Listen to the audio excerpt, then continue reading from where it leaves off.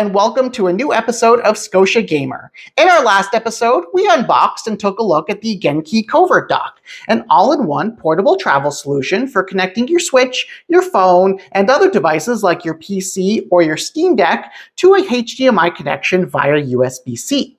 I also brought up one caveat with the Genki Covert Dock, and that's that it's a 30 watt charger, compared to the Switch's 39 watt charger and the Steam Deck's 45 watt charger. This doesn't seem to present too much of an issue with the Switch, but could pose an issue for the Steam Deck depending on the power usage of the particular game you're playing. In particular, you may notice that when you connect the Steam Deck to the Genki Dock 1, it will give you a low power warning because it's not able to get that full 45 watts.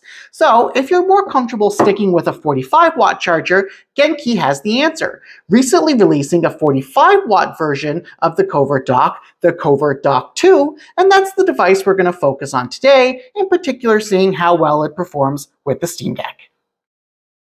So I pre-ordered the Genki Covert Dock 2 on October 22nd, and I got it delivered on January 5th. If you want to check out ordering the dock now, head over to Genki's website and see when the next batch of pre-orders is going to be shipped. So let's go ahead and unbox it. Let's take a look at the box first. Make any screen your playground, easily connect games and videos to your TV. This now has a USB-C 3.2 power delivery, which was upgraded from the previous model. We have the USB-A accessory port and the 4K 60 HDMI DisplayPort AV output and also includes a USB-C 3.2 cable and some adapters for global travel.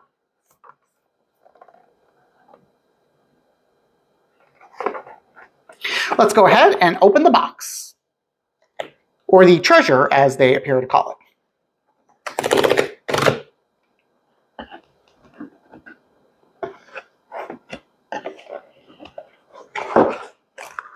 So once again, I would say this is the USB-C cable. So let's put that for aside a minute and look at the device itself.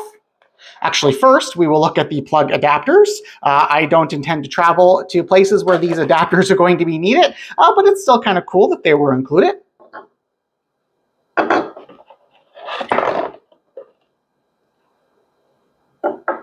And let's get into the device.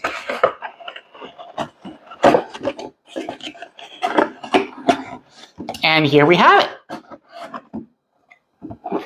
The Genki Covert Dock 2. Uh, like the Covert Dock 1, it has those uh, retractable outlet prongs there, so that makes it easy to travel. And I'm going to compare it here to the first one. It is a little bit lighter. Uh, of course, it has a new case on it using a white color with some transparency there. So that makes it quite nice and aesthetic. And it's definitely a little bit lighter than the first one, but otherwise you can see that the size is pretty much about spot on compared to the Covert Dock 1.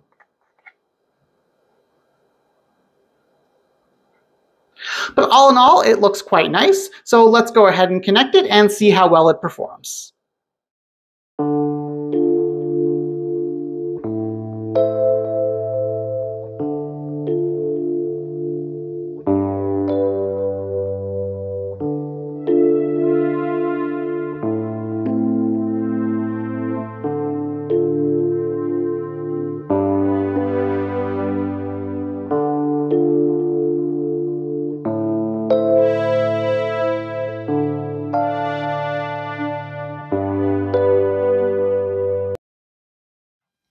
So I have the Genki Covert Dock 2 connected to the mains here. And as you can see, I have it connected via HDMI to the capture card for the laptop. So let's go ahead and connect the USB-C cable for the Genki Covert Dock to the Steam Deck. And you'll see that we get that output out on the laptop screen, demonstrating that that HDMI output is working.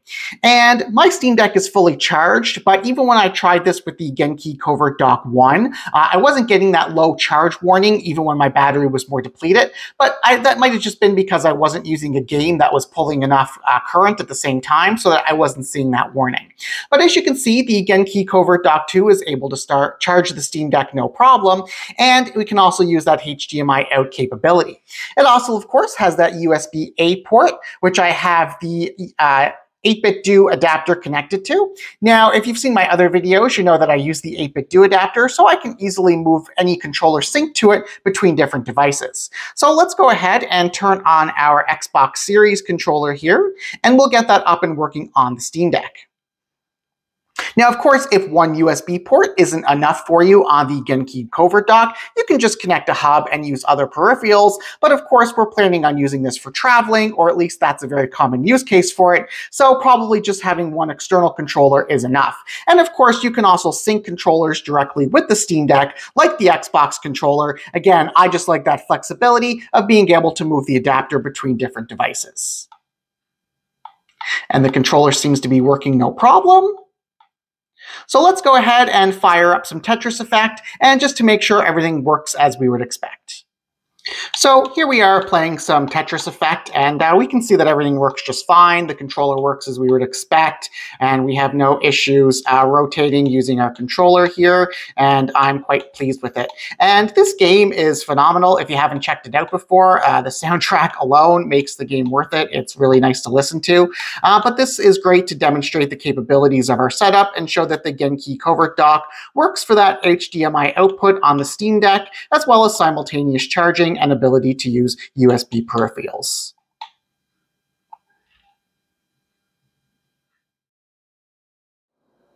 So I'm not going to bother demoing the Switch or my phone to the Covert Dock 2. I've tried them both and they work fine, exactly the same as the Covert Dock 1 did. So if you're interested in that, I'll leave a link to the Covert Dock 1 video at the end of this one. Now, of course, there are many other docking solutions you can use for the Steam Deck. Valve, of course, makes its own popular option that receives firmware updates, just like the deck itself.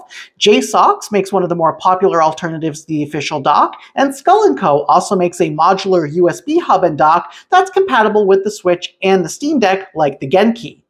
Other USB hubs can and should work fine, of course, but Valve can't test them all, so your mileage may vary depending on the quality of the hub itself. As I focused on previously, the main draw of the Genki docks, of course, are their small size and portability, as well as their modularity, and I'm happy to see that they fixed the main drawback I mentioned with the Genki Dock 1 on the Genki Dock 2, and that is upgrading it to a 45 watt charger. This makes it a great all-in-one charging and docking solution for multiple devices when traveling. That's it for me. I hope you enjoyed the video. While I may not be the most prolific creator, I do have some new videos planned for 2024 that I look forward to sharing with you all. So please consider liking and subscribing for more great content. This is Scotia Gamer. Have a great day and game on.